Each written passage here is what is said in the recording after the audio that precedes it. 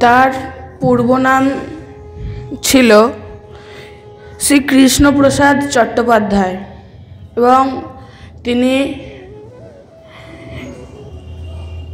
যশোহর জেলার অন্তর্গত মোহাম্মদপুর নামক গ্রামে জন্মগ্রহণ করেন।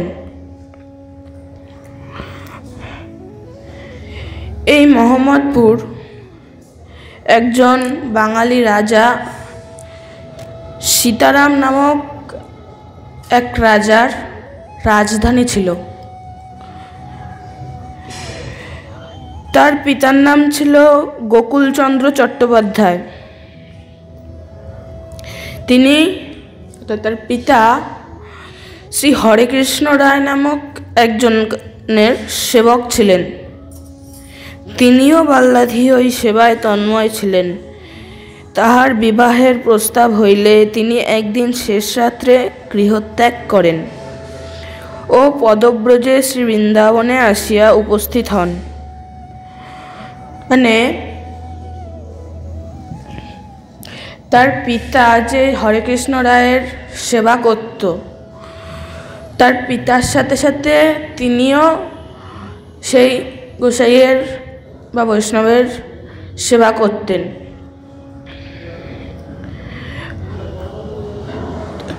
বাল্যকাল থেকেই তার মধ্যে কিছুটা হলেও হরিভক্তি ছিল। এরপর যখন সে তরুণ বা যৌবন অবস্থায় আসলো, একটু বড় হলো, তখন তার পিতামাতা বা অভিভাবকগণ তার বিয়ের সম্বন্ধ ঠিক করলে তিনি এক শেষ রাতে, অর্থাৎ মাঝরাতের পর ভোরবেলা ভোর হওয়ার আগেই মানে সূর্যোদয়ের আগেই তিনি গৃহ ত্যাগ করলেন, বাড়ি ছেড়ে চলে গেলেন। এবং পদব্রজে, অর্থাৎ তখন তো তেমনভাবে কোনো গাড়ি ঘোড়া ছিল না, থাকার মতো শুধু ওই গরুর গাড়ি, ঘোড়ার গাড়ি, এই সমস্ত কিছু ছিল। আর বেশিরভাগই লোকই তখন ঘোড়ায় চেপে এদিক সেদিক করতো। আর তাছাড়া বেশিরভাগ সাধারণ মানুষ যে সমস্ত ছিল, তারা হেঁটেই এখান থেকে সেখানে যেতে হচ্ছে যত দূরেই হোক। এখন তো ট্রেন, বাস, গাড়ি কত কিছু হয়েছে। তিনি সেইকালে পদব্রজারা হেঁটে বৃন্দাবনে অথবা ব্রজধামে এসে উপস্থিত হন। শ্রী বৃন্দাবনীয় শ্রী শ্রী মনোহর সেবায় কয়েকদিন থাকিয়া পরে রণবাড়িতে ভজন করিতে থাকেন। রণবাড়ি হলো ওই ব্রজধাম বা বৃন্দাবনের কাছাকাছি একটি জায়গা। বৃন্দাবনে শ্রী শ্রী মদনমোহনের সেবায় কয়েকদিন থাকিয়া মানে সেখানে শ্রীমূর্তির সেবা করতেন তিনি, দিয়ে কিছুদিন সেবা করার পর তিনি সেই রণবাড়িতে এসে একটি কুটির করে ভজন করতে থাকেন। তৎকালে রণবাড়ি ভীষণ জঙ্গলে পরিপূর্ণ। মানে সেই সময় রণবাড়ি যে জায়গাটা ছিল, সেখানে প্রচণ্ড জঙ্গল ছিল। মানে আগে তো এত বসতি ছিল না, যার জন্য বেশিরভাগ জায়গায় জঙ্গল নোংরা হয়ে থাকতো, জঙ্গল বা গাছা ইত্যাদি। তিনি সাধারণভাবে একটি কুটির নির্মাণ করিয়া তাহাতে ভজন করিতেন।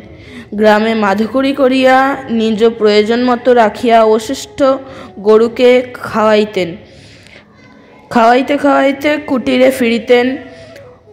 মাধুকরি অতিরিক্ত হওয়ার কারণ, ব্রজবাসীদের নির্বন্ধতাতিশয়ে তিনি সকলের গৃহে মাধুকরি করিতে বাধ্য ছিলেন। না গেলে তাহারা আক্ষেপ করিতেন। এবার রণবাড়িতে তিনি থাকতেন আর ব্রজধামে যে সমস্ত ব্রজবাসীরা থাকতেন, সেই সমস্ত ব্রজবাসীদের ঘরে তিনি মাধুগুরি করতেন। আর তার মাধুগুরি অনেকটা বেশি হতো। তিনি নিজের যতটুকু প্রয়োজন, ঠিক ততটুকু রেখে বাকিটা সম্পূর্ণটা গরুকে খাইয়ে দিত। কিন্তু যেমন আমরা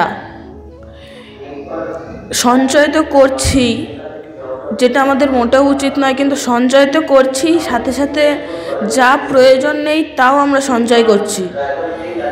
আমার শুধু একটু থাকার জায়গা, একটু খাবার প্রয়োজন। তা সত্ত্বেও আমরা কত অতিরিক্ত কাম, মোহ ইত্যাদিতে আক্রান্ত হয়ে এই সংসার সমুদ্রে ডুবে হাবুডুবু খাচ্ছি এবং কত আমাদের কামনা।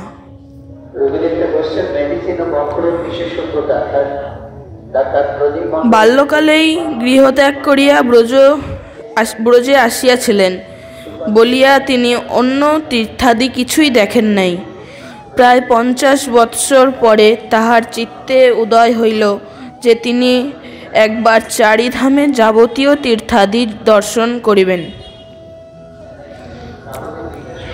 প্রিয়াজি তাহাকে স্বপ্নে আদেশ করিলেন, তুমি বৃন্দাবনে আমার চরণে আসিয়াছ।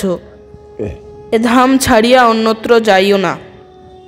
এখানে থাকিয়া ভজন করো, ইহাতেই তোমার সর্বসিদ্ধি লাভ হইবে। তীর্থাদি ভ্রমণের প্রয়োজন নাই। যেমনটা বললাম, তিনি অত্যন্ত বাল্যকালেই মানে একা একা ঘোরার মতো তেমনভাবে তার বয়স হয়নি।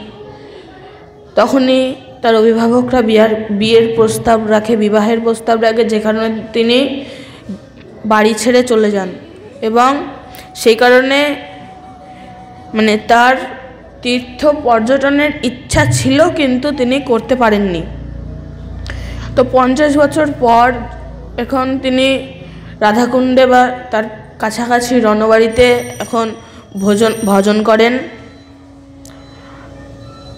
এবং রাধারানী গোবিন্দের নাম নিয়ে থাকেন। কিন্তু হঠাৎই তার মনে তীর্থ ভ্রমণের কামনা উঠল। মানে তিনি তীর্থ ভ্রমণ করবেন। এখন রাধারানী বা গোবিন্দ তো আমাদের সবসময় উপর থেকে দেখছেন। তার, তিনি ওনারা সব সময় অন্তর্জামী সব সময় আমাদের মনের কথা জানেন তিনি। তাই এই সিদ্ধ বাবাকে তিনি স্বপ্নে আদেশ করলেন যে, তুমি আমার চরণের নিকট এসেছ। আমার চরণ আশ্রয় করে তুমি এখন ভজন করছ। তুমি অন্য কোনো তীর্থে না গিয়ে এখানেই থেকে আমার ভজন করো এবং এতেই তোমার সর্বসিদ্ধি লাভ হবে। রাধারানীর স্বপ্নে তাহাকে এই কথাটি দ্বারা আদেশ করিলেন।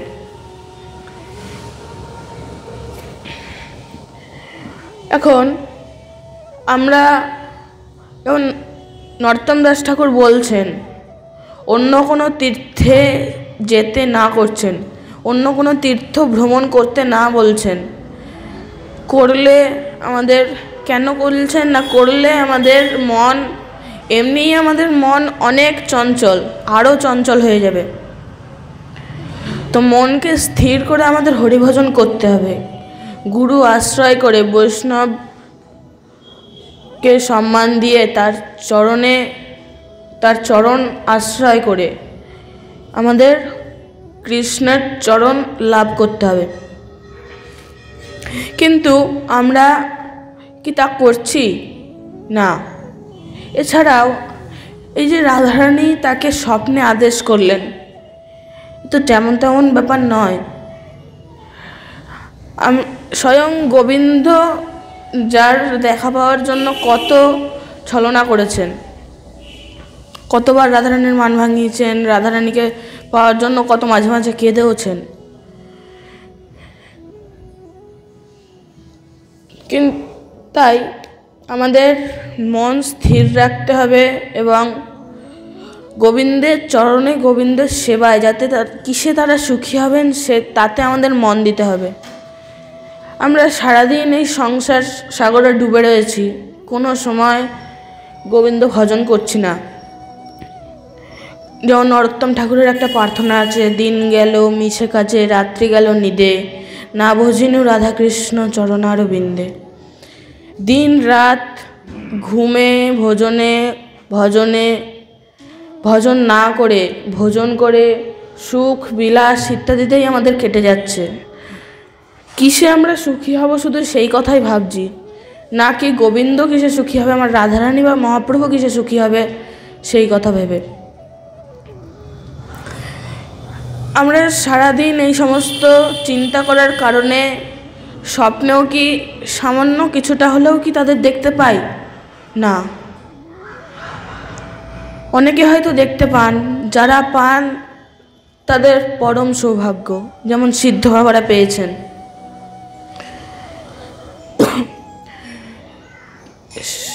বৃন্দাবনকে আমরা কিছুটা হলেও মর্যাদা দিই, কিন্তু এই নবদ্বীপে যে আমরা থাকি এই নবদ্বীপের মর্যাদা কি আমরা একটু রক্ষা করতে পারি? এই নবদ্বীপের যেমন গঙ্গা, গঙ্গায় মুখ কুলকুচি করে মুখ ধোয়া হয়, সাবান জল ফেলা হয়, ড্রেনের যত ময়লা, সমস্ত ফেলা হয়। শহরের নবদ্বীপ শহরের যত আবর্জনা, সমস্ত গঙ্গায় ফেলা হয় ড্রেনের মাধ্যমে। নবদ্বীপে রাস্তা, নোংরা, ড্রেন নোংরা এই সমস্তই আমরা দেখি। কিন্তু নবদ্বীপ যে গৌর লীলা ভূমি তার এটা লীলাস্থলী আমরা একবারও কিন্তু গভীরভাবে সেটা ভেবে দেখি না। তো যাই হোক, আমাদের মন স্থির করে সেই কোনো গোবিন্দ বা আমার গৌরহরি বা নিতাইচাঁদের কোনো লীলাস্থলিতে থেকে যদি আমরা ভজন করতে পারি, তবেই আমাদের সর্বসিদ্ধি লাভ হবে।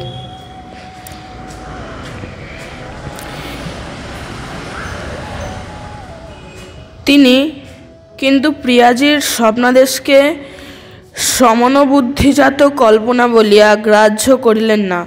তীর্থযাত্রায় বাহির হইলেন। ভ্রমণ করিতে করিতে দ্বারকায় যাইয়া তপ্ত মুদ্রার দি ধারণ করিলেন। চারি সম্প্রদায়ের বৈষ্ণবগণ দ্বারকায় গেলে তপ্তমুদ্রা ধারণ করেন। ইহা কিন্তু বৃন্দাবনের রাগানুগীয় বৈষ্ণবগণের পরম্পরা বা সদাচার সম্মত নহে।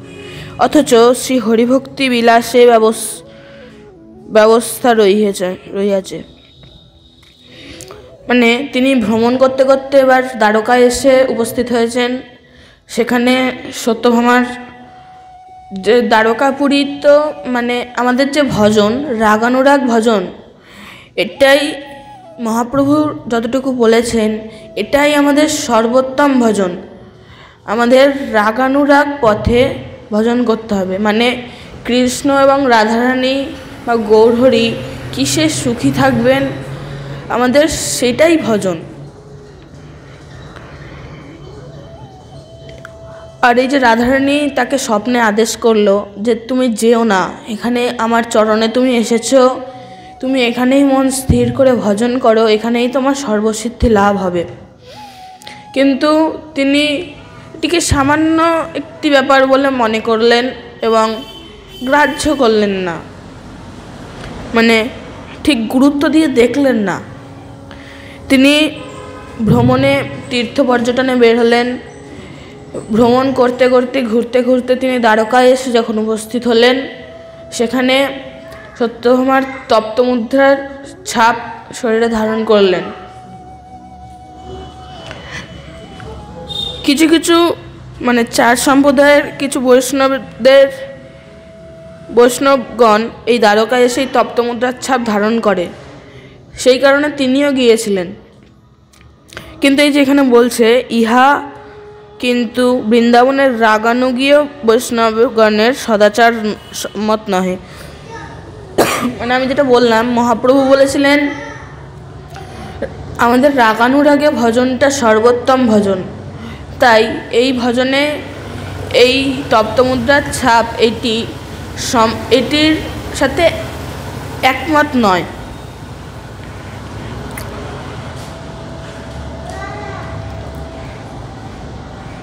অথচ হরিভক্তি বিলাসের ব্যবস্থা রইয়াছে বাবাজি মহাশয়ও ব্রজের সদাচার উপেক্ষা করত করত। শ্রী হরিভক্তি বিলাসের মতে মুদ্রাদি গ্রহণ করিছিলেন করিছিলেন। করিলেন। তৎপর হইতে কিন্তু তাহার চিত্তে বিক্ষেপ আসিল এবং তীর্থ ভ্রমণে অরুচি হইয়া তিনি দ্বারকা হইতে ব্রজে চলিয়া আসলেন। মানে এই তপ্ত মুদ্রার ছাপ নিলে ঠিক ভজনের যে ব্যাপারটা, সেটা বেশ, বেশিরভাগটাই নষ্ট হয়ে যায়। কিন্তু তা সত্ত্বেও আবার কিছু কিছু বৈষ্ণবগণরা তখন ছিলেন। হয়তো তারা ঠিক মতো ছিলেন না, যে কারণে এই তপ্তমুদ্রার ছাপ নিয়েও আবার হরিভক্তি বিলাস করতেন। কিন্তু এটা উচিত নয়। তো তাদের কথা শুনেই তিনি ওই হরিভক্তি বিলাসে ভেবেছিলেন এরকম হবে। সে কারণে তিনি আবার তত্ত্বমুদ্রার ছাপ লাগিয়েছিলেন এবং পরে কিছুদিন পর তার ভ্রমণে এই যে তীর্থ পর্যটনে তিনি বেরিয়েছেন, তাতে তার অরুচি হলো। সে কারণে তিনি আবার ব্রজে ফিরে আসলেন এবং সেখানে সেখানেই থেকে তিনি আবার ভজন শুরু করলেন। যেই দিন ফিরে আসলেন, সেই দিন রাতেই প্রিয়াজি তাকে, প্রিয়াজি অর্থাৎ রাধারানী তাকে স্বপ্নে আবার আদেশ করলেন, কি? না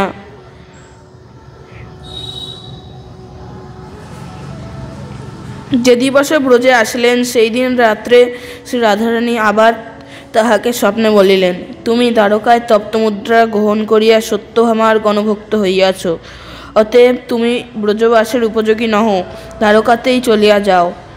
এইবারে কিন্তু তাহার স্বপ্নটি মনকল্পিত বলিয়া মনে হইল না। আবার প্রিয়াজি বা রাধারানী তাকে স্বপ্নে আদেশ করলেন যে মানে স্বপ্নে বললেন যে, তুমি এই যে তপ্তমুদ্রার ছাপ লাগিয়েছ, এর কারণে তুমি সত্যভামার দলের অন্তর্ভুক্ত বা অন্তর্গত হয়ে গেছো।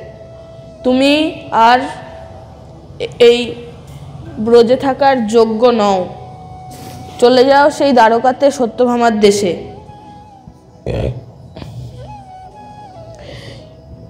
কিং কর্তব্য বিমূঢ় হইয়া তিনি ব্রজের সিদ্ধ বাবাজীগণকে জিজ্ঞাসা করিলে তাহারাও প্রিয়াজির আদেশ আদেশ, আদেশানুরূপ কথাই বলিলেন। কথিত আছে গোবর্ধনের সিদ্ধ বাবার সহিত ইহারও নাম সামনে প্রীতধিক্য বশত সক্ষভাব ছিল। রণবাড়ির সিদ্ধ বাবা ইহার কাছে আসিলে তিনি পূর্ববৎ গাঢ় আলিঙ্গন করত, জিজ্ঞাসা করিলেন, আপনি একদিন কোথায় ছিলেন? আপনি এতদিন কোথায় ছিলেন? তাহাতে তিনি উত্তর দিলেন, আমি দ্বারকায় গিয়াছিলাম। এই দেখুন তপ্তমুদ্রার ছাপ লাগিয়ে, লাগাইয়াছি।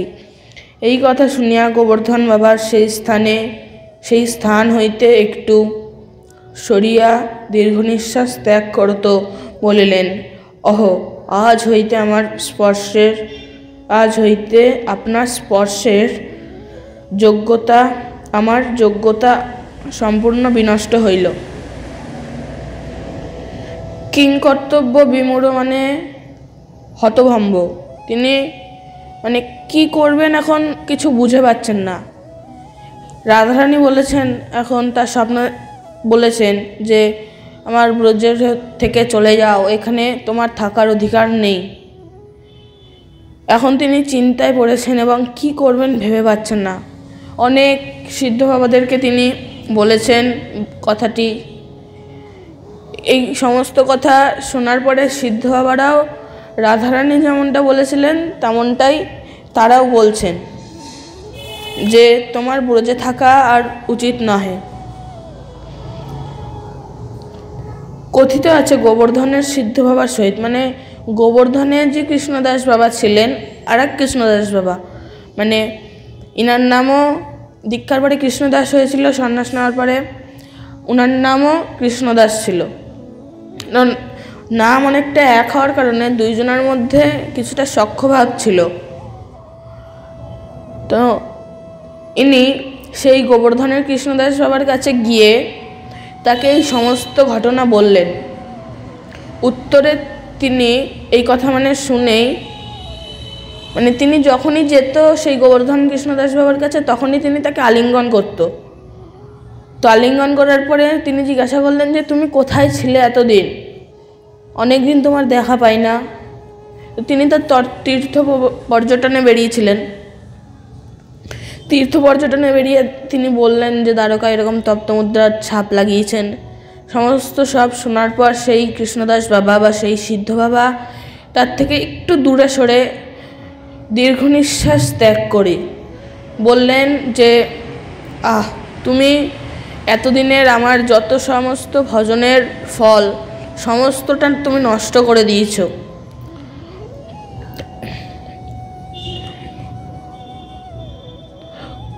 কোথায় আপনি মহারাজ? রাজেশ্বরীর সেবিকা, আর কোথায় আমি গোয়ালিনীর দাসী? এই কথা শুনিয়া রণবাড়ির সিদ্ধভাবা কিছুক্ষণ স্তম্ভিত হইয়া পরে প্রণাম করিয়া চলিয়া গেলেন। এই সমস্ত কথা শোনার পর তিনি হতাশ হলেন এবং সেই গোবর্ধনের যে সিদ্ধ বাবা ছিল, তাকে প্রণাম করলেন এবং সেখান থেকে চলে গেলেন।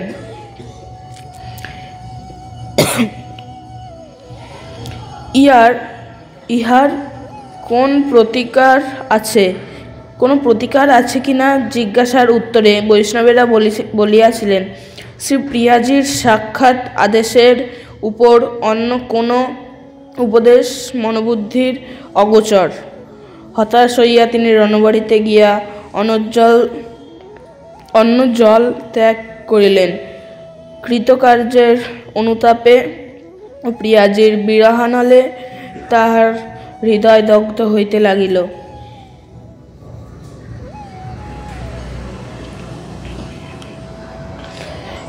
তিনি এবার হতাশ হয়ে গেছেন। কি করবেন কিছু বুঝে পাচ্ছেন না। এবার যেমন আমরা কোনো কাজ করার আগে ঠিকঠাকভাবে যখন না ভেবে সেই কাজটা করে ফেলি বেশিরভাগ ক্ষেত্রেই কিন্তু আমাদের পরে পচতাতে হয়। সেই কারণেই কিন্তু এই সিদ্ধ বাবা যেহেতু রাধারানীর কথাকে বা যা স্বপ্নে আদেশ করেছিলেন, সেটিকে সামান্য একটি ধারণা বলে, সামান্য একটি স্বপ্ন বলে মনে করে গ্রাহ্য করেননি, যে কারণে আজ তার এই অবস্থা। তিনি কৃতকার্যের অনুতাপে প্রিয়াজির বিরহানলে তাহার হৃদয় দগ্ধ হইতে লাগিল। প্রিয়াজির বিরহানলে মানে প্রিয়াজি অর্থাৎ রাধারানী। রাধারানী তো তাকে বলেছেন যে, তুমি ব্রজ ছেড়ে চলে যাও। এখানে থাকার তোমার অধিকার নেই। অর্থাৎ রাধারানী তার উপর তুষ্ট হয়েছেন, অর্থাৎ ক্রোধিত হয়েছেন। তার সমস্ত ভক্তি নষ্ট হয়ে গেছে। এতদিন এই পঞ্চাশ বছর তীর্থ পর্যটনের আগে তিনি যা সমস্ত ভোজ- ভজন করেছিলেন, সমস্ত সব নষ্ট হয়ে গেছে। এখন তিনি অনুতাপ করছেন। এবং তার হৃদয় যেন বিরহ দাবানলে, যেন তার হৃদয় জ্বলছে।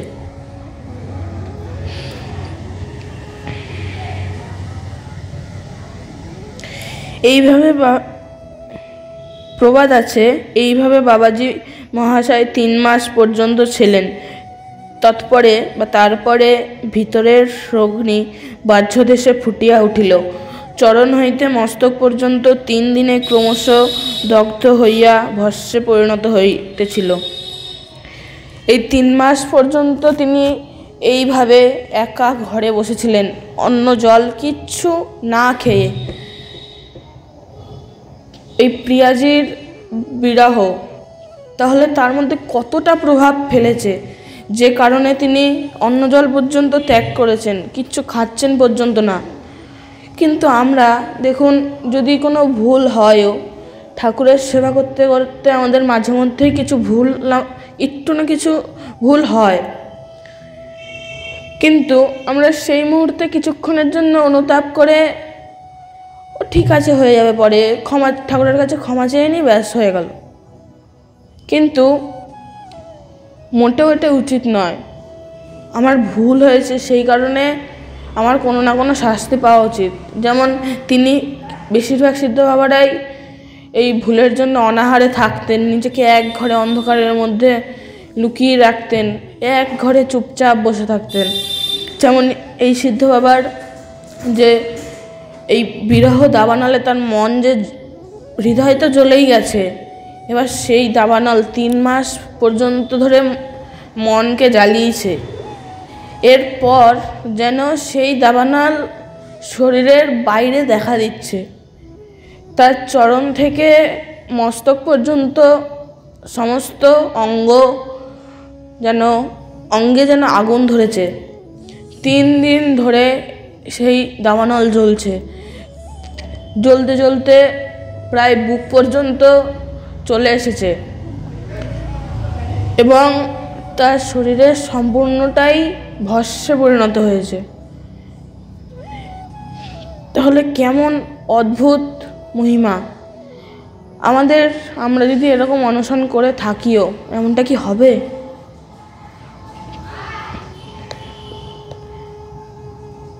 যদিও আমরা একদিন না খেলেই পাগলার মতো হয়ে যায় একদিন একাদশী উপবাসে আমাদের কত অসুবিধা হয়, উপবাস।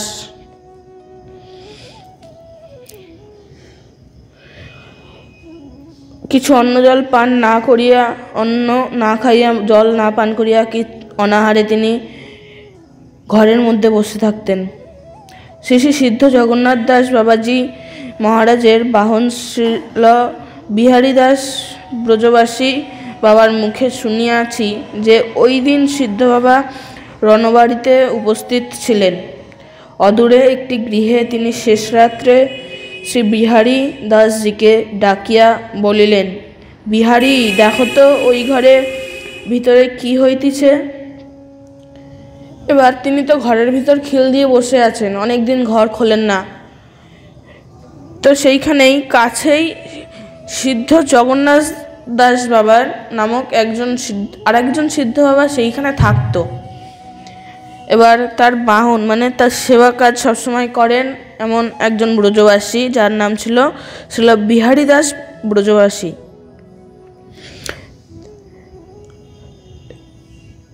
তাকে তিনি মানে সেই জগন্নাথ দাস বাবা, সিদ্ধ বাবা তাকে দেখতে বললেন।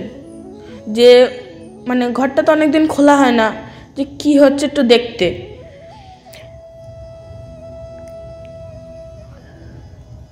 তিনি অনুসন্ধান ক্রমে জানিলেন যে রণবাড়ি বাবার মানে এই সিদ্ধ কৃষ্ণদাস বাবার, রণবাড়ির সিদ্ধ কৃষ্ণদাস বাবার দেহ দগ্ধ হইতেছে। ভিতরে হই, ভিতর হইতে ঘরে খিল দেওয়া ছিল বলিয়া সবিশেষ জানিতে না পারিয়া সিদ্ধ বাবার নিকট ফিরিয়া সব কথা বলিলেন। এবার ঘর তো তিনি খেল দিয়ে বন্ধ করে রেখেছিলেন। তিন মাস পর্যন্ত এই ঘর বন্ধ। এরপর সেই বিহারি বলে জগন্নাথ দাস বাবা তার সেবককে যে ডাকতেন, সে সেই জগন্নাথ, সিদ্ধ জগন্নাথ দাস বাবার কাছে গিয়ে সমস্ত কথা বললেন। মানে খবর বললেন যে ভিতরে বিরহ, বিরাহনল বিরাহনল বলে তিনি চিৎকার করতে করতে বলছেন যে ভিতরে বিরাহ দাবানল জ্বলছে। এই কথা বলিয়া তিনি বিহারী দাসজিকে স্কন্ধে চাপিয়া ওই ঘরের দ্বারে উপস্থিত হইয়া দরজা ভাঙিয়া ভিতরে প্রবেশ করিলেন এবং দেখিতে কণ্ঠ পর্যন্ত অগ্নি আসিয়াছে, অথচ উপরে উঠিতেছে না। এবার তারা এসছে, দরজার ফাঁক দিয়ে হোক বা জানলার একটু ফাঁকা দিয়ে হোক, তারা দেখতে পাচ্ছেন যে ভিতরে আগুন জ্বলছে।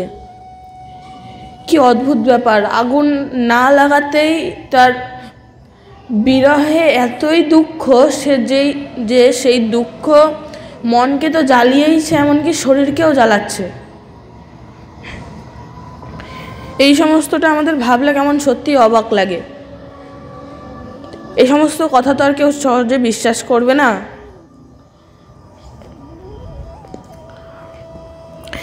এবার দরজায় তো খিল দেওয়া ছিল, তো দরজা ভেঙে তারা ভিতরে প্রবেশ করলেন এবং দেখিলেন কণ্ঠ পর্যন্ত অগ্নি আসিয়াছে, অথচ উপরে উঠিতেছে না।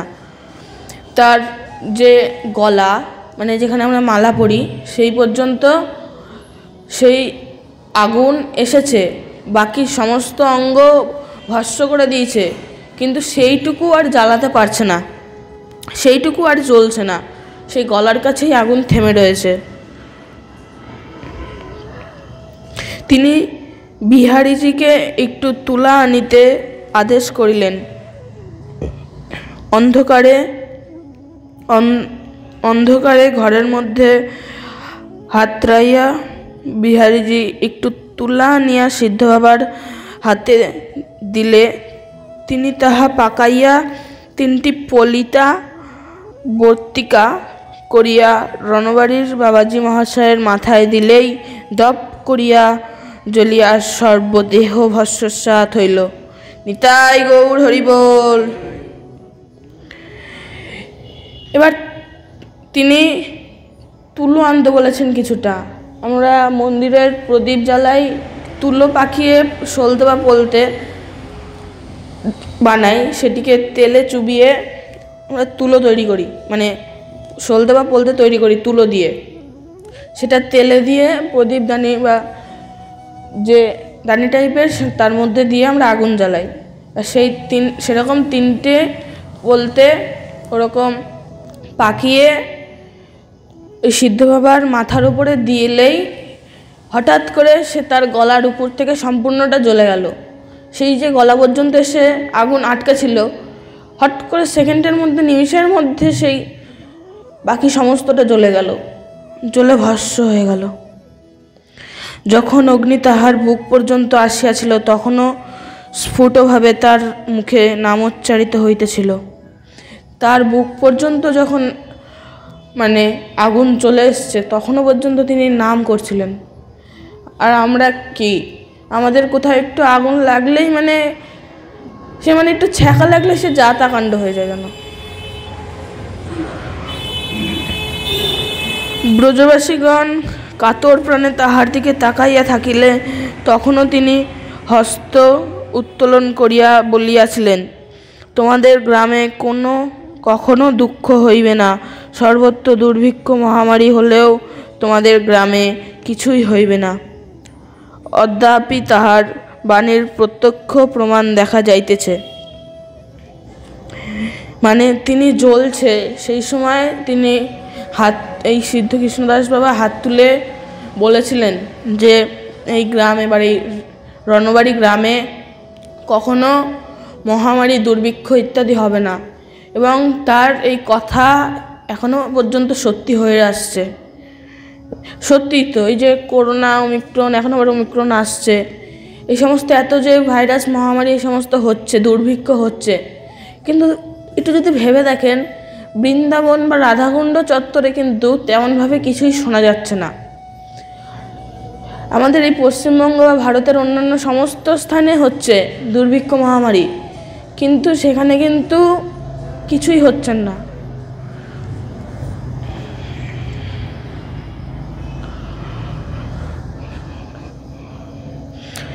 তেমনটা যেমনটা তিনি বলেছিলেন, তেমনটাই পরবর্তীতে ঘটেছিল।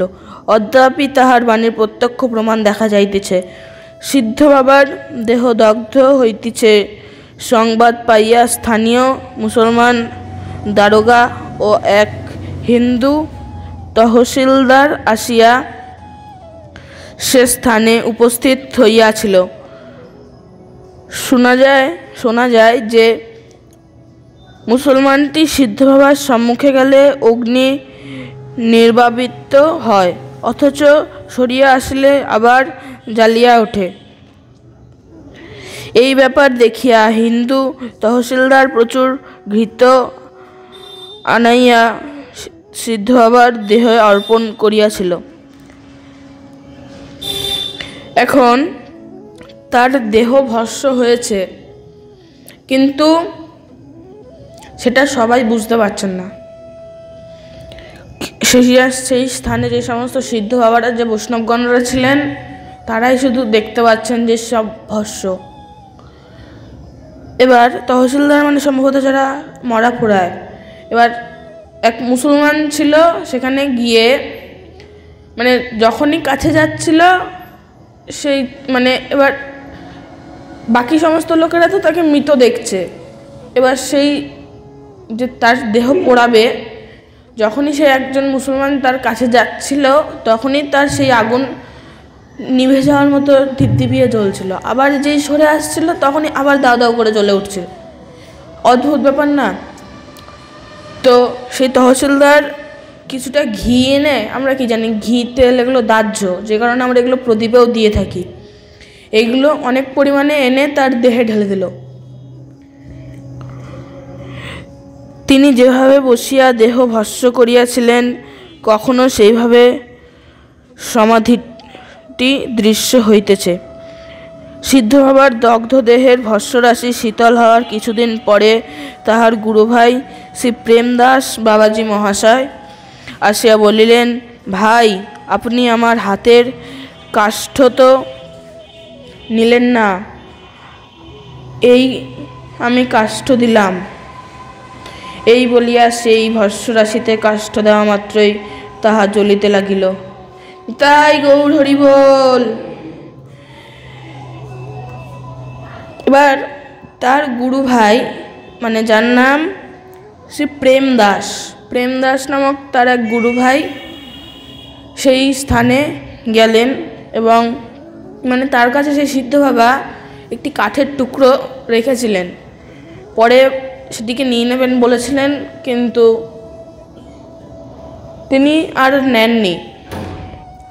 তো তখন তিনি বলেছিলেন যে ভাই আপনি আমার হাতের কাষ্ঠ তো নিলেন না। মানে সেই ভস্যতেই ভস্যকেই বলছে। এই বলিয়া সেই ভস্য রাশিতে কাষ্ঠ দেওয়া মাত্রই তাহা জ্বলিতে লাগিল।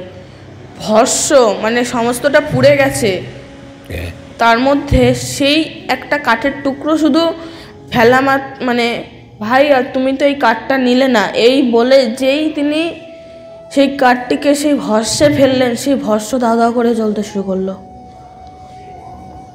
সিদ্ধ বাবার সমাধির নিকট আসিয়া যে যাহা প্রার্থনা করে তাহা পূর্ণ হয় বলিয়া ব্রজবাসীগণের সদৃঢ় বিশ্বাস। এবার এই ভস্যরাশিকেই সমাধি দেওয়া হয়েছিল। এই, তো এই সমাধির কাছে যদি কেউ গিয়ে কোনো প্রার্থনা করে বা কিছু চায়, তাহলে তা পূর্ণ হয়। যেমনটা কিনা কল্পতরু বা কল্পবৃক্ষে হয়। কল্পবৃক্ষের ছায়ায় আমরা কি জানি? কল্পবৃক্ষের ছায়ায় বসে যদি আমরা কিছু কামনা করি, তাহলে সেটা পাওয়া যায়। এবং এই প্রার্থনা শুধু পূর্ণ হয় বলে না, ব্রজবাসীগণের সুদৃঢ় বিশ্বাস ছিল যে প্রার্থনা বা কামনা পূর্ণ হয়। এই যে ঘটনাটি প্রায় নব্বই বৎসর পূর্বে ঘটিয়াছিল, সিদ্ধ বাবা এখনকার ব্রজবাসীগণকে আদেশ করিয়াছিলেন যে তাহারা যেন ফাল্গুনী শুক্লা একাদশী তিথি অবশ্য পালন করেন এবং হরিবাসরে জাগরণ করেন। অদ্যাপি এখানকার ব্রজবাসীগণ এমনকি বালক বালিকারাও ওই তিথিতে বিশেষভাবে পালন করেন। তিনি যা যা বলে গেছিলেন, তাই তাই সেই সমস্ত ব্রজবাসীগণেরা করেছিলেন। যেমন ফাল্গুনি শুক্লা একাদশী তিথি পালন করতে বলে গেছিলেন, তিনি, সেই সমস্ত ব্রজবাসীগণেরা করেও ছিলেন। এমনকি সেখানে বালকগণ এবং বৃদ্ধগণ পর্যন্ত একাদশী ঠিকঠাকভাবে পালন করতেন।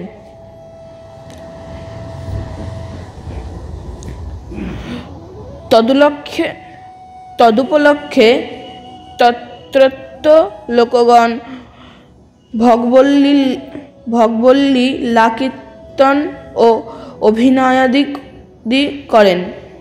মানে সেখানে অনেকেই ভগবল্লী কীর্তন মানে যেমন ভোগারতি রাধাকৃষ্ণ নানা রকম লীলা, এই সমস্ত সেখানে প্রায় করা হয়। ওই তিথি বিশেষভাবে পালন করে। এই সমস্ত করে সেই তিথিটি বিশেষভাবে তারা পালন করতেন।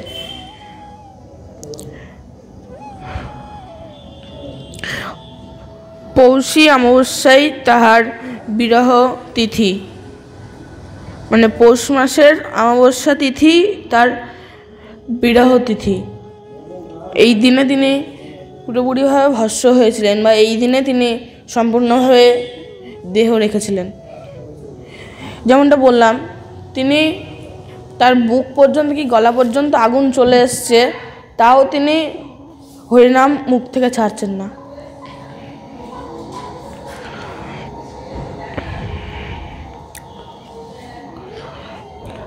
এই উপলক্ষে তত্রত্ব ব্রজবাসীরাই চাঁদা তুলিয়া চৌরাশি ক্রোশের বৈষ্ণব দিগকে ভোজন করাইয়া আসিতেছেন।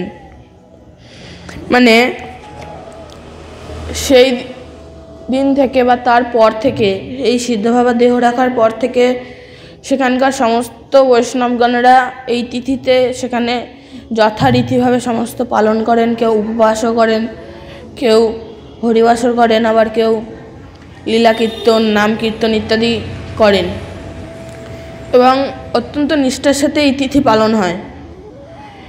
এছাড়াও সেইখানে আজকের দিনে, অর্থাৎ সেই রণবাড়ি বৃন্দাবন চত্বর, সেখানে আজকের দিনে অনেক বৈষ্ণব সেবাও দেওয়া হয়। এই পর্যন্ত ছিল আজকের শ্রীকৃষ্ণ সিদ্ধ কৃষ্ণদাস বাবার জীবনচরিত। এবার আমরা কিছুটা চৈতন্য ভাগবত আচ্ছাদন করব।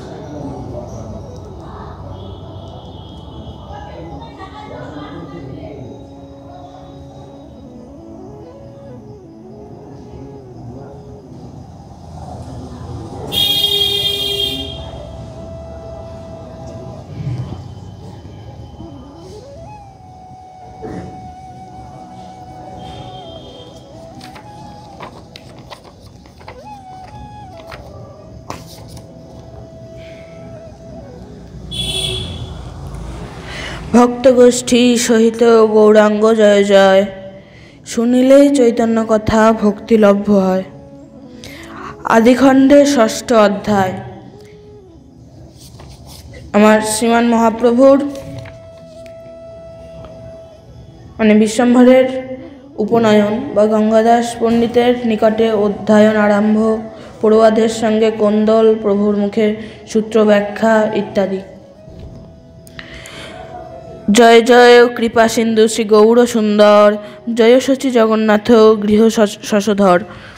জয় জয় নিত্যানন্দ স্বরূপেরও প্রাণ, জয় জয় সংকীর্তন ধর্মেরও নিধান।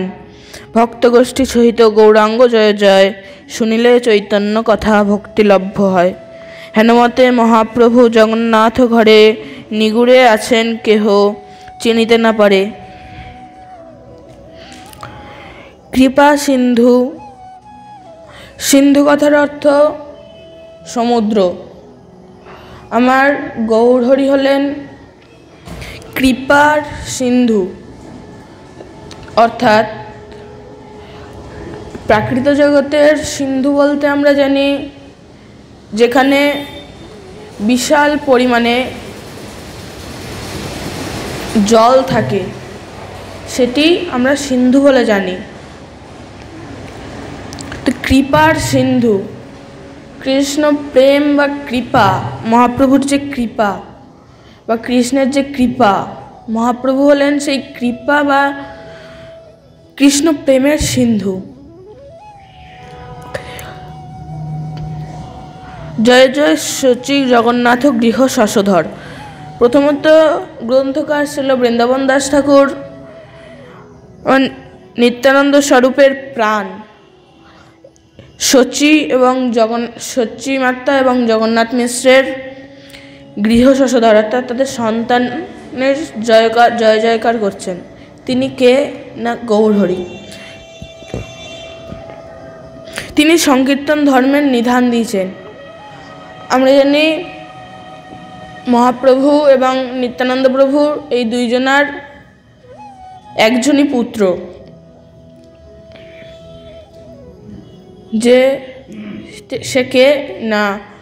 হরিনাম সংকীর্তন।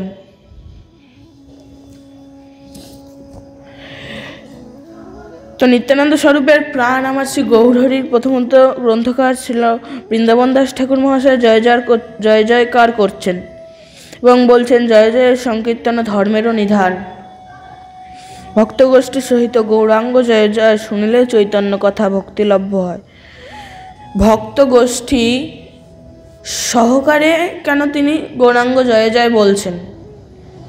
শুধু, আমরা তো শুধু মহাপ্রভু, রাধারানী, গোবিন্দ নিতাই চাঁদ ইনাদেরই বেশিরভাগ জয় জয়কার দিই।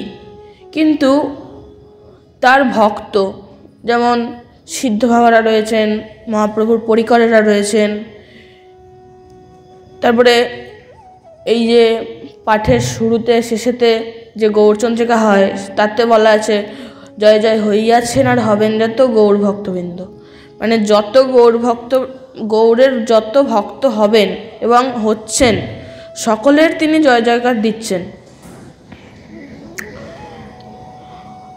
প্রভু বলেছেন না যে, আমার পূজার আগে আমার ভক্তের পূজা বড় সেই কারণেই এমনটা বলা। বাল্যক্রীড়া নামও যত আছে পৃথিবীতে, সকল খেলায় প্রভু কে পারে কহিতে? বেদদ্বারে ব্যক্ত হইব সকল পুরাণে, কিছু শেষে শুনিব সকল ভাগ্যবানে। এই মতো গৌরচন্দ্র বাল্য রসে ভোলা যজ্ঞ পুরীতে যজ্ঞ পড়িতে কাল আসিয়া মিলিলা। যজ্ঞসূত্র পুত্রের দিবারে মিশ্রবর, বন্ধুবর্গ ডাকিয়া আনিলা নিজ ঘর। পরম হরিশেষ সবে আসিলা মিলিলা যার যেন যোগ্য কার্য করিতে লাগিলা। শ্রী আচ্ছা। প্রভু লীলা করছেন কিন্তু সবাই কিন্তু বুঝতে পারছেন না তার লীলা। যেমন তার পরিকরেরা বা তার মাতা পিতা সহ নিত্যানন্দ ইনারা বুঝতে পারছেন, কিন্তু সবাই কিন্তু বুঝতে পারছেন না।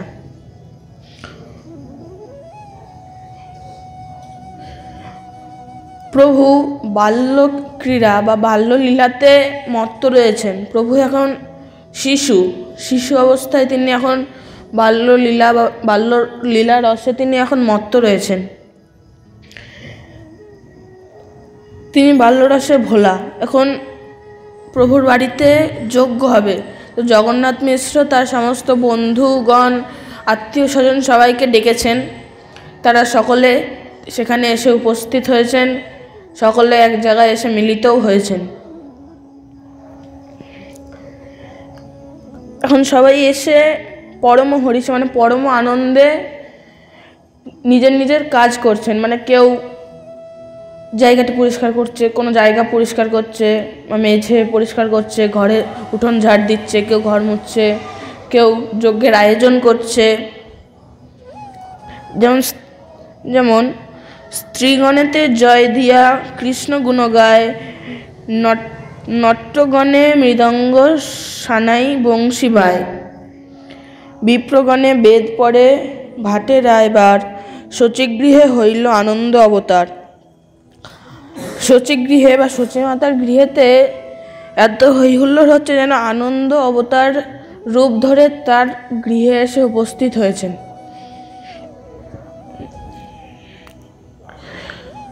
যজ্ঞ কর্ম আস্তে আস্তে শুরু হলো। তো স্ত্রীগণেরা অনেকেই কেউ কেউ মানে জয় কৃষ্ণের গুণগান জয় জয়কার করে গাইছে, গাচ্ছেন। কেউ হরিনাম করছেন, কেউ নটগণের মৃদঙ্গ, সানাই, বংশী ইত্যাদি, করতাল, খোল, মৃদঙ্গ ইত্যাদি বাজাচ্ছেন। বিপ্রগণ মানে ব্রাহ্মণগণ বেদ উচ্চারণ করছেন।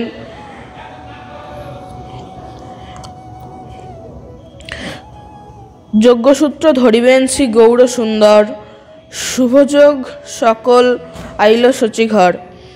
শুভ মাসে শুভ দিন শুভ ক্ষণ করি ধরিলেন যজ্ঞসূত্র গৌরাঙ্গ শ্রীহরি। শোভিল শ্রী অঙ্গে যজ্ঞসূত্র মনোহর। সূক্ষ্মরূপে শেষ বা ঢেরিল কলেবর। হইলা ব্রাহ্মণ বামন রূপ প্রভু গৌরচন্দ্র দেখিতে সবার বারে পরম আনন্দ। অপূর্ব ব্রাহ্মণ তেজ দেখি সর্বগণে, নরগণ, নরজ্ঞান কেহ কেহ নাহি করে মনে।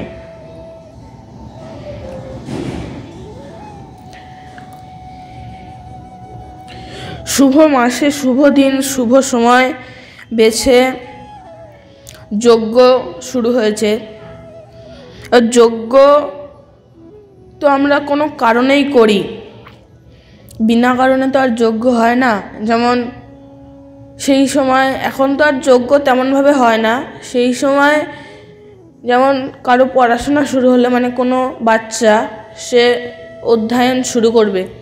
সেই মুহূর্তে যজ্ঞ হয় অথবা মানে কোনো সৎকার্য বা মহৎ কার্য শুরু হবে বা কোনো আশ্রম খুলবে। প্রতিষ্ঠিত হয়েছে, এবার সে আশ্রম খুলবে প্রতিষ্ঠিত হবে, সেই সময় যজ্ঞ হয়। তো প্রভু এখন সম্ভবত অধ্যয়ন শুরু করবেন সে কারণে এই যজ্ঞ যে কারণে প্রভুকে যজ্ঞ সূত্র মনোহর বলা হচ্ছে।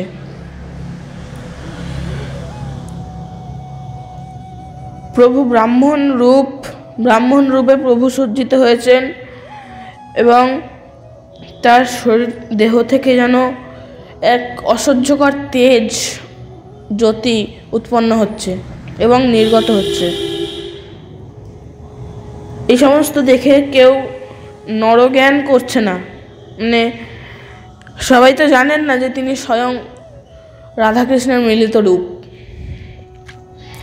তবে তারা নরজ্ঞান করছে না যে সাধারণ মানুষ এই মানে অঙ্গের জ্যোতি দেখে এই জ্ঞান করছেন না। হাতে দণ্ড, কন্ধে ঝুলি শ্রী গৌর সুন্দর ভিক্ষা করে প্রভু সর্বসেবকের ঘর। প্রভুর শিক্ষা পাঠ দান আরম্ভ হবে। তিনি ব্রাহ্মণ ঘরে যেহেতু জন্ম নিয়েছেন, ব্রাহ্মণদের গলায় পইতে থাকে। পইতে দেওয়ার সময় সাধারণত যজ্ঞ হয় এবং কাঁধে ঝুলি দেওয়া হয় এবং ছোট্ট বাচ্চাকে একজন ব্রাহ্মণ রূপে সাজানো হয়। হাতে থাকে দণ্ড আর কাঁধে থাকে ঝুলি। এবার গৌরসুন্দর কাঁধে ঝুলি নিয়ে সমস্ত সেবকের ঘরে ভিক্ষা করতে যাচ্ছেন। যার যথা শক্তি ভিক্ষা সবেই সন্তোষে, প্রভু ঝুলিতে দিয়া নারীগণ হাসে। যার যতটা সামর্থ্য সে ততটা প্রদান করছেন। যে যতটা পারবে সে ততটাই দিচ্ছেন এবং নারীগণ প্রভুর ঝোলায় দিয়ে হাসছেন। দ্বিজপত্নী রূপধরী ব্রাহ্মণী রুদ্র, রুদ্রাণী যত পতিব্রতা মণিবর্গের গৃহিণী। শ্রী বামন রূপপ্রভুর দেখিয়া সন্তোষে সবেই ঝুলিতে ভিক্ষা দিয়া দিয়া হাসে। প্রভুর ব্রাহ্মণ রূপ দেখে সকলেই তাকে ভিক্ষা দিচ্ছেন। মুনিগণের পত্নীরা, তারপরে কিছু কিছু দেবীগণ মানে স্ত্রীর, সাধারণ মানুষের স্ত্রীর রূপ ধরে এসেছেন। তারা ভিক্ষা দিচ্ছেন এবং আমার গৌরসুন্দরের এই বামন রূপ দেখে হাসছেন।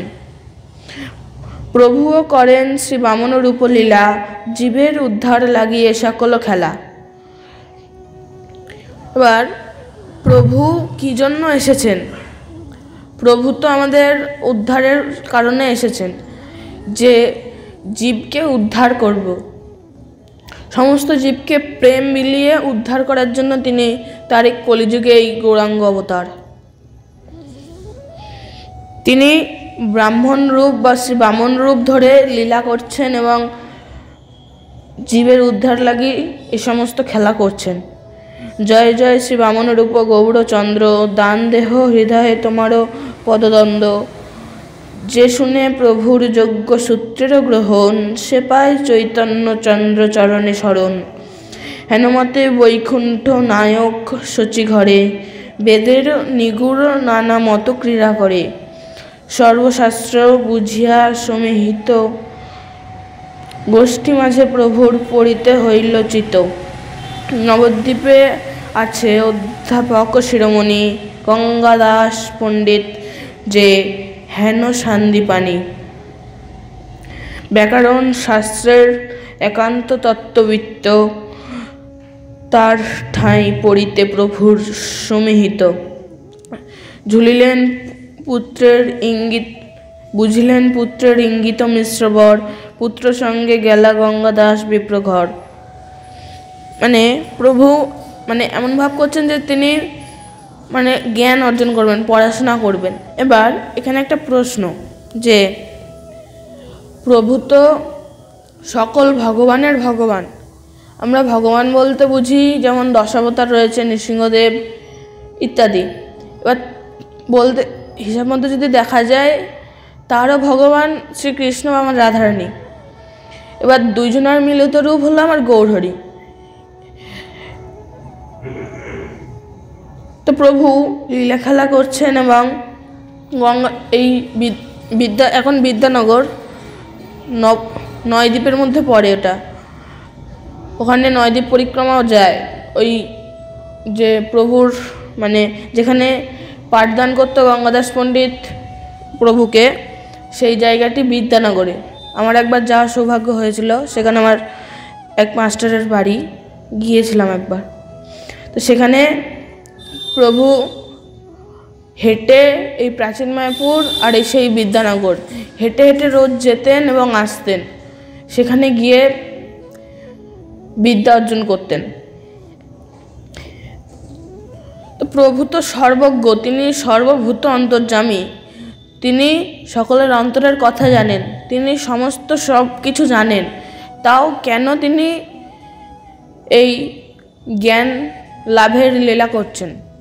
কারণ এই লীলার দ্বারা তিনি জগজীবকে শিক্ষা দিচ্ছেন। প্রভু একটা কথা বলেছেন না, যে নিজে আচরিয়ে ধর্ম অন্যের শেখায়। তো মানে নিজে আচরণ করতে হবে এবং অন্যকে বোঝাতে হবে বা শেখাতে হবে।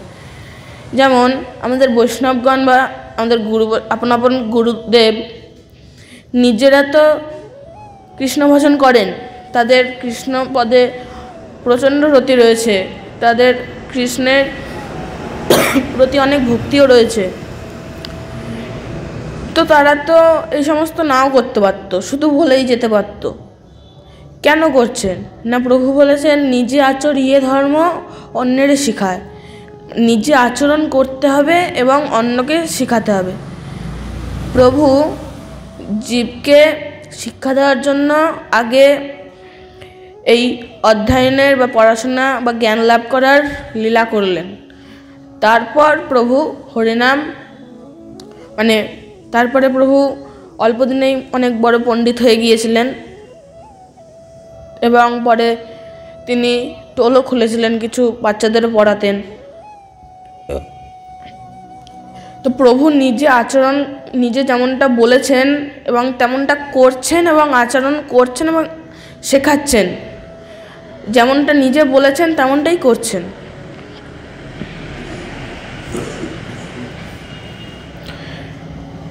পুত্র প্রায় করিয়া রাখিল নিজ পাশ। মানে শিষ্য দেখি পরম আনন্দে গঙ্গাদাস। মানে শিষ্য গঙ্গাদাস বলে, বড় ভাগ্য সে আমার। পড়াইমু যত শক্তি আছে আমার। আমার যত শক্তি আছে, আমার যতটা সম্ভব আমি ততটা শেখাবো। এবার যারা সদ্গুরু, তারা সবসময় নিজে যতটা জানেন, ততটাই শিষ্যকে প্রদান করার চেষ্টা করেন। গঙ্গাদাস পণ্ডিত প্রভুকে বলছেন, আমার যতটা সম্ভব আমি ততটাই প্রদান করব।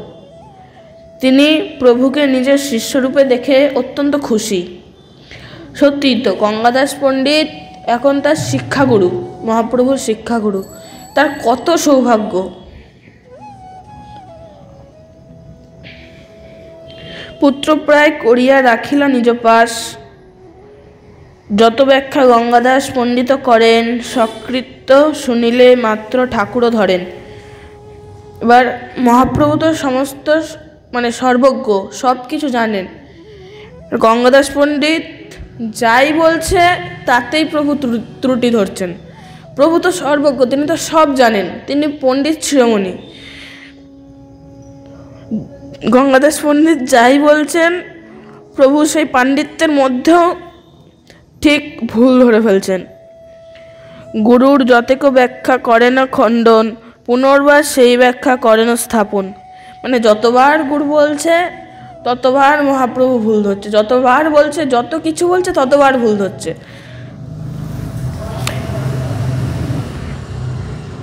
মানে সংস্করণ করে বা ঠিক করে সেটিকে আবার বলা করাচ্ছেন। সহস্র সহস্র শিষ্য পরে যত জনে হেন কারও শক্তি নাহি দিবারে দূষণে। এখন সেই সময় তো নবদ্বীপ মানে নবদ্বীপ বলতে সেই সময় মানুষ অধ্যাপকদের একটি স্থান বলে চিনত শুধু। সেই টাইমে নব মানে সেই সময়ে নবদ্বীপ শিক্ষার দিক থেকে অনেক এগিয়ে ছিল।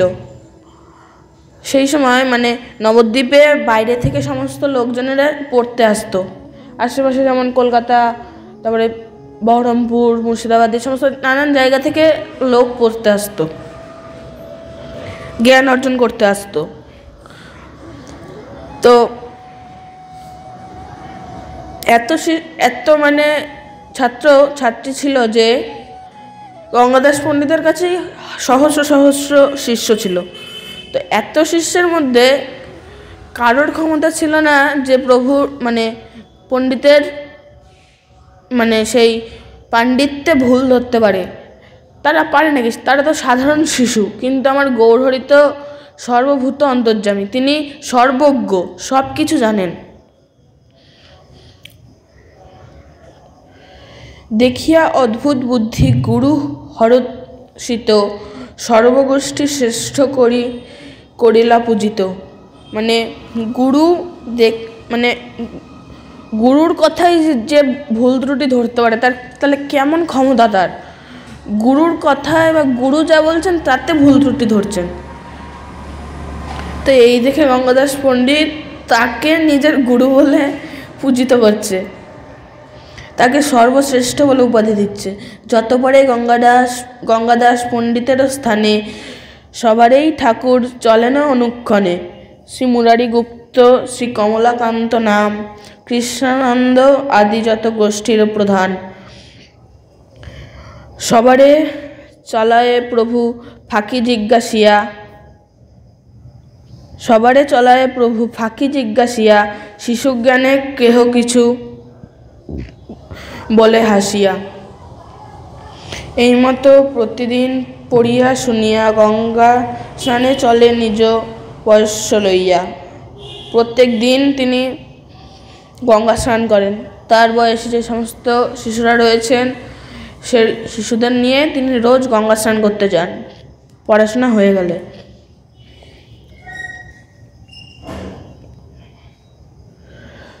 পড়িয়া মধ্যাহ্নে সবে করে গঙ্গা স্নান। পড়ুয়ার অন্তনাহি নবদ্বীপ পুরে পড়িয়া মধ্যাহ্নে সবে গঙ্গা স্নান করে। এক অধ্যাপকের সহস্র শিষ্যগণ অন্নহন্যে কলহ করেন অনুক্ষণ। মানে এত শিষ্য যে তাদেরকে সামলানো মুশকিল। সহজ একজন, এক একজনের কাছেই সহস্র সহস্র শিশু মানে শিষ্য। সকলে সব কন্দল গলে হইচই করে। এখন হাজার হাজার শিশু তো সামলানো মুশকিল না, মুশকিল। এখন একজনের কাছে চার পাঁচজন হলেই কত অসুবিধা হয়ে যায় পড়াতে। সেই সময় হাজার হাজার শিষ্য ছিল একজনের গুরুর, এক একজন গুরুর। কত গুরু ছিল সেই সময়। এক একজনের গুরুর কাছে হাজার হাজার মানে লক্ষ লক্ষ শিশু পড়তে আসতো নবদ্বীপে।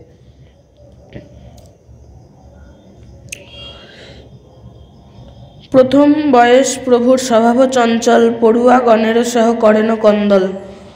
প্রথম বয়স মানে শিশু অবস্থায় প্রভু কন্দল মানে দুষ্টুমি যেটা বলে। প্রভু নিজ বয়সী ছেলে মানে বালকদের সাথে দুষ্টুমি করছেন, লীলা খেলা করছেন, কত কিছু করছেন। কেহ বলে তোর গুরু কোন বুদ্ধি তার? কেহ বলে বল এই আমি শিষ্য যার কেহ বলে এই আমি শিষ্য যার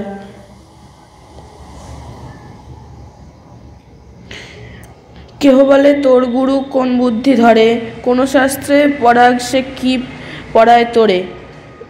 এই মতো অল্পে অল্পে হয় গালাগালি, তবে জালে ফেলা ফেলি, তবে দান বালি, তবে দেন বালি। তবে হয় মারামারি যে যাহারে পারে, কর্ম তো ফেলিয়া কারও গায়ে কারও কেহ মারে। এখন ছোট বাচ্চারা কখনো নিজেদের মধ্যে মারামারি করেন, আবার কখনো হাসেন, কখনো একসাথে খান, আবার কখনো মারপিট করেন, মারপিট করে। প্রভু তার মানে সমবয়সী বালকদের সাথেও একই রকম করছেন। কেউ কারও গায়ে পড়ছে তো কেউ কাউকে মারছে। মারিয়া পালায় গঙ্গার ওপারে। রাজার দোহাই রাজার দোহাই দিয়া কেহ করে ধরে মারিয়া পালায় কেহ গঙ্গার ওপারে। এত হুড়াহুড়ি করে পড়ুয়া সকল, বালিকাদায় সব হয় গঙ্গা জল সব ভাবিবারে নাহি পারে নারী গণে না পারে করিতে স্নান ব্রাহ্মণ সজ্জনে পরম চঞ্চল প্রভু বিশ্বম্বর রায় এই মতো প্রভু প্রতি ঘাটে ঘাটে যায়। প্রতি ঘাটে পড়ুয়ার অন্ত নাহি পায়, ঠাকুরও কলহ করে প্রতি ঠাঁই ঠাঁই। প্রভু প্রত্যেক ঘাটে ঘাটে যাচ্ছেন এবং লীলা করছেন। ঘাটে ঘাটে তিনি মানে তার সমবয়সী পড়ুয়াদের সাথে লীলা খেলা করছেন। মারামারি করছেন, কাদায় ধুলায় গড়াগড়ে যাচ্ছেন, আবার কেউ গঙ্গা সাঁতার দিচ্ছেন। মানে ঘাটে ঘাটে এত উৎপাত করছে যে নারীগণ এবং ব্রাহ্মণগণেরা ঠিকভাবে গঙ্গায় স্নানও করতে পারছেন না। প্রতি ঘাটে পড়ুয়ার অন্ত নাহি পায়। প্রতি ঘাটে ঘাটে যায় গঙ্গার গঙ্গায় সাঁতারি, এক ঘাটে দুই চারি দণ্ড ক্রীড়া করি। যত মতো যত মতো প্রামাণিক পড়ুয়ারগণ, তারা বলে, কলহ কলহ করহ কি কারণ? জিজ্ঞাসা করহ বুঝি, কার কোন বুদ্ধি? বৃত্তি পঞ্জি টিকার কে জানে দেখি শুদ্ধি। সর্বশক্তি সমন্বিত প্রভু ভগবান করিলেন সূত্র ব্যাখ্যা, যে হয় প্রমাণ। ব্যাখ্যা শুনি সবে বলে প্রশংসা, বচন, প্রভু বলে, এবে শুনে, শুনো করিয়া খণ্ডন। যত বাখা নিল তাহা দূষিল সকল, প্রভু বলে স্থাপ, এবে কার আছে বল? মানে প্রভুকে কোনো পাণ্ডিত্যর দ্বারা প্রভুকে হারাবে, এমন ক্ষমতা কি কারও আছে? না। কারোর ক্ষমতা নেই। কারণ তিনি সর্বজ্ঞ। এখন এই প্রাকৃত জগতে কোনো একটি মানুষের দ্বারা সমস্ত কিছু জানা সম্ভব না।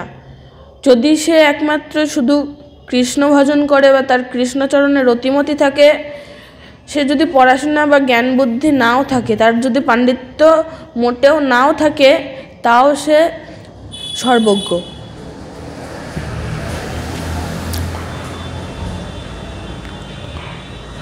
চমৎকার, সবেই ভাবে না মনে মনে, প্রভু বলে শুনো এবে করিয়ে স্থাপনে।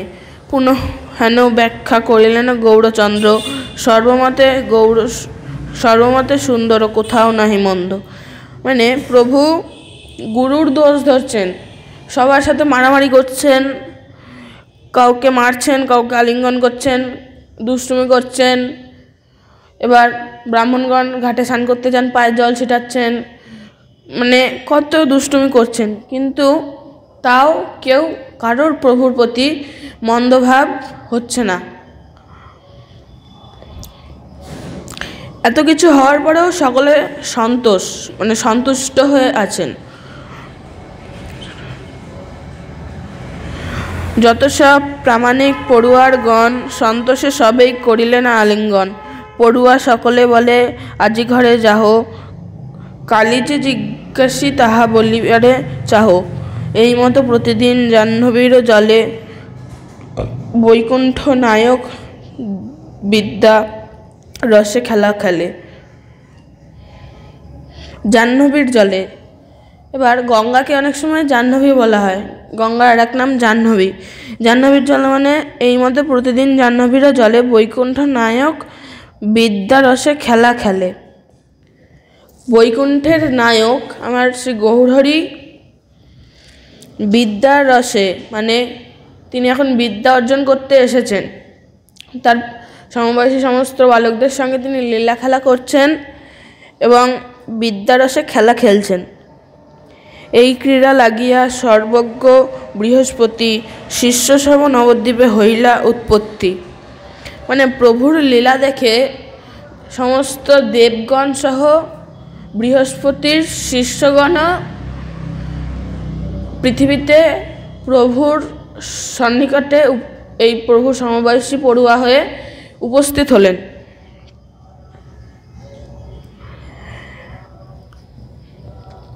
শিষ্যসহ নবদ্বীপে হইলা উৎপত্তি।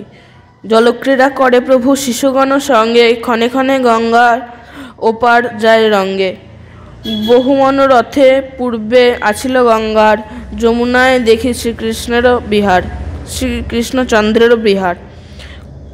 কবে হইবে কোমর যমুনার ভাগ্য, নিরবধি গঙ্গা এই বলিলেন বাক্য। যদ্যপিহ গঙ্গা, আজ ভাবাদাহী বন্দিতা, আজ ভাবাদি বন্দিতা, তথাপিহ যমুনার পদ সে বাঞ্ছিতা। বাঞ্ছা কল্পতরু। প্রভু শ্রী গৌর সুন্দর জাহ্নবীরও বাঞ্ছা পূর্ণ করে নিরন্তর। কেন গঙ্গা বলতে গঙ্গাদাস পণ্ডিতের কথা বলা হচ্ছে। তিনি আক্ষেপ করছেন যে তিনি না গঙ্গায়, না যমুনায়, কোথাওই যেতে পারেন না, চেয়েও। গঙ্গায় হয়তো যেতে পারেন মাঝে মধ্যে কিন্তু যমুনায় তার যাওয়ার ইচ্ছা কিন্তু তিনি যেতে পারেন না।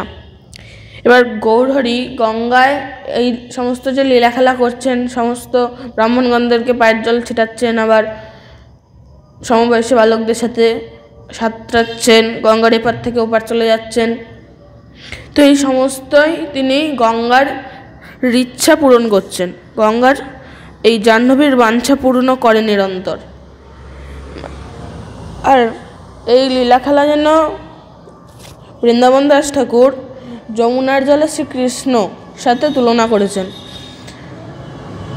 সত্যি তো দাপড়ে যেমন কৃষ্ণ যমুনায় করেছেন, কলিতে তেমনই গৌর সুন্দর গঙ্গায় করছেন।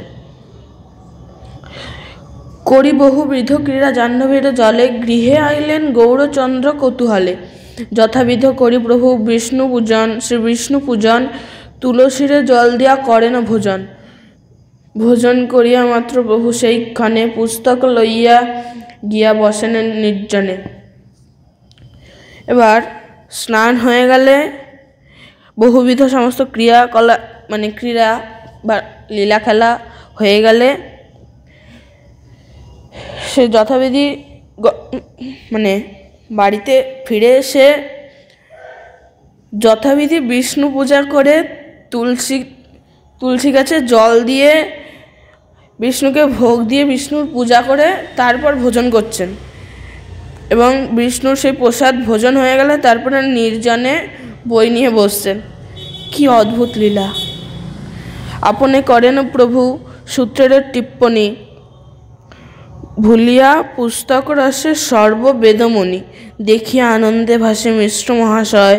রাত্রি দিনে হরিষে কিছুই না জানয়।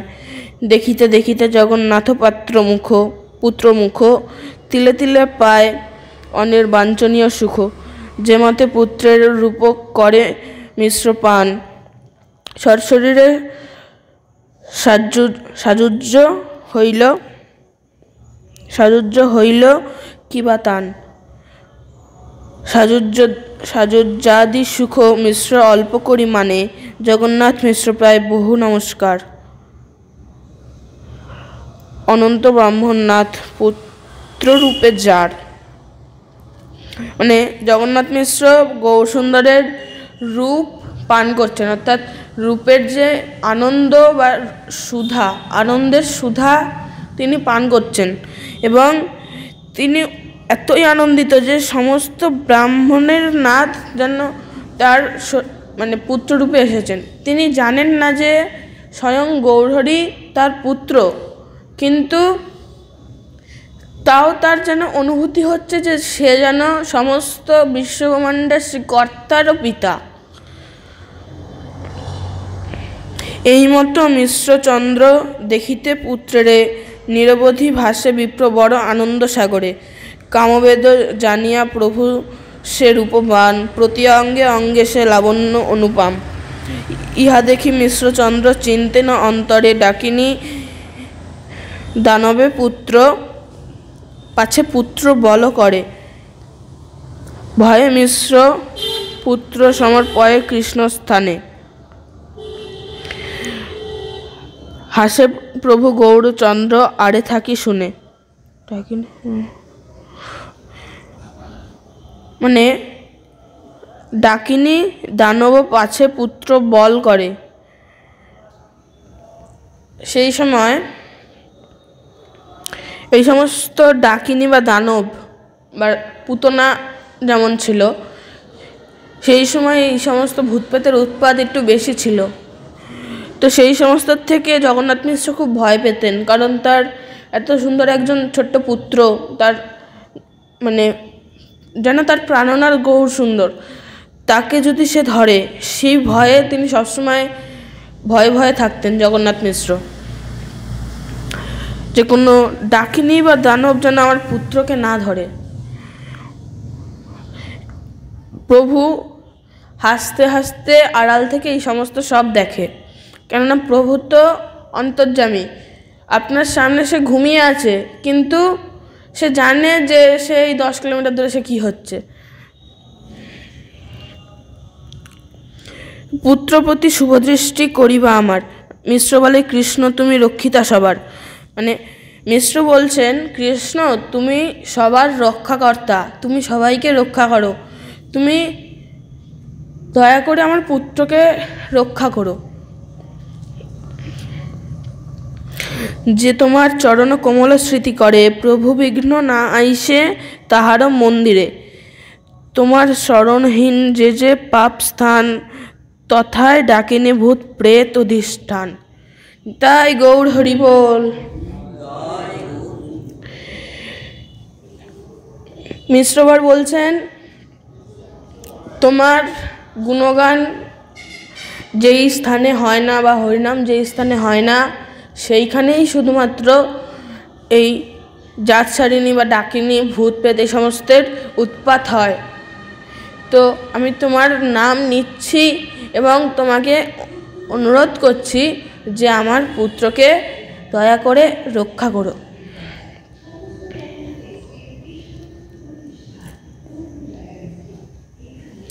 ন যত্র শ্রবণাদিনী রক্ষক রক্ষজ্ঞানী সকর্মসু কুর্বন্তি সত্যতং ভূতজাতু ধন্যশ্চ। তত্র হি ইতি এক ইতি। অনুবাদ। যে স্থানে মানবগণ স্ব কর্মে অর্থাৎ কর্মকরণ সময় সাত্যত প্রতি শ্রীকৃষ্ণের রাক্ষস নাশক শ্রবণাদির অনুষ্ঠান, অর্থাৎ শ্রীকৃষ্ণের নামগুণ রূপ, লীলাদি শ্রবণ কীর্তনাদি না করে না করে সেই স্থানেই রাক্ষসী প্রভৃতি নিজেদের প্রভাব বিস্তার করিয়া থাকে। মানে এই শ্লোকটির দ্বারা বোঝানো হয়েছে যে যেই স্থানে কৃষ্ণের সমস্ত লীলা কথা আস্বাদন হয় না, যে সমস্ত স্থান মানে কর্ম কর্মমোক্ষ কামনা ইত্যাদি দ্বারা পরিপূর্ণ। সেই স্থানে কোনো বৈষ্ণব বা গুরুজন মানে গুরুদেব বা কোনো মহাজন বা সিদ্ধ মহাত্মা কোনো কেউই থাকেন না। কৃষ্ণ রূপের লীলা কথা কোনো কথা যেখানে হয় না, সেখানেই রাক্ষসী, ভূত, প্রেত, মায়া, পিচাসী যত সমস্ত সেখানে বিস্তার হয়। কৃষ্ণ বা গৌরহরি হলো আমার সূর্যরূপ আলো বা আলোর ন্যায়। তার, আর হলো তার বহিরাঙ্গ শক্তি মায়া হলো অন্ধকার স্বরূপ। মানে যেমন সূর্য যখন উদিত হয়, তখন অন্ধকার কি আর থাকে? না, রাতের অন্ধকার তখন কোন দূরে পালিয়ে যায়? তখন চারিদিক আলোকিত হয়ে যায়। শুধুমাত্র সূর্য উদিত হলে মানে সমস্ত পৃথিবী যেন আলোকিত হয়ে যায়। তাই এমনটি বলা হচ্ছে যে কৃষ্ণকে যদি স্মরণ করা হয়, যেই স্থানে কৃষ্ণের নাম, গুণ, লীলাদি স্মরণ হয়, সেই স্থানে কোনো ভূত প্রেত বা মায়া পিচাসির মানে সেখানে নিজের শক্তি বিস্তার করতে পারেন না। অর্থাৎ এর থেকে বৃন্দাবন দাস ঠাকুর আমাদের বোঝাতে চাচ্ছেন যে আমাদের কখনোই শ্রীকৃষ্ণের চরণ বিমুখ হওয়া উচিত নয়। আমাদের সব সময় হরিনাম নিয়ে থাকতে হবে হরি ভজন নিয়ে থাকতে হবে এবং কৃষ্ণ ভজন করতে হবে। আজ